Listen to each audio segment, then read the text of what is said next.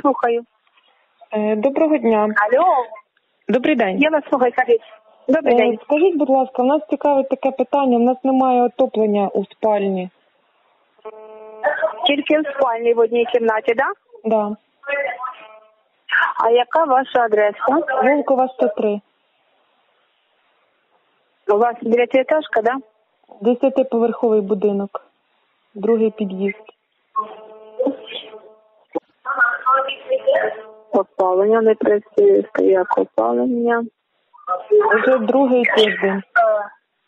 Це Придніпровка у вас, там десятий поверх у вас не розповітрює Е, квартира? Ми ходили, нам ми онлайн подавали заявку в інтернеті, в Фейсбуці. Е, Сказали піти на верхній поверх. Ми пішли, там ніхто не відкриває двері. Так, десятий поверх не відкриває двері. Ну да. Ну а взагалі розповітрюванням системи хто має займатися? У квартирах мешканці для того, щоб зручності, щоб частіше розповітрювати, зрозуміли?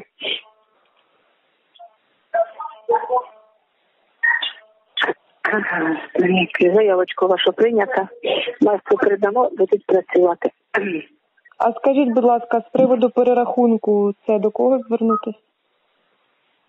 По якому перерахунку всього? З приводу отоплення спальні, що в нас не отоплюється, перерахунок нам потрібний, тому ну, Перерахунків нікому не будуть робити. А Сказала тепломережа. Тому що дається запуск їм певний період на опалювальний сезон, а потім нам дається. е, а скажіть, будь ласка, е, так як нема отоплення, ми повинні все одно оплачувати цю площу? Я вам хочу сказати, якщо ви будете ходити добиватися, щоб вам перерахунок зробили, там буде перерахунок рублів на 5, не більше. Ну, 12 я- квадратів, я думаю, це буде не 5 гривень. Я вже сама робила, через це я вам кажу. Ну, а, зараз куди- а куди звернутися? У вас є теплова інспекція, Черкаська інспекція по теплу на Сідова. Телефонуйте туди. А номер є? Немає в мене номера, ваша заявочка прийнята. Ні, а як, до кого це на Сідова звернуться?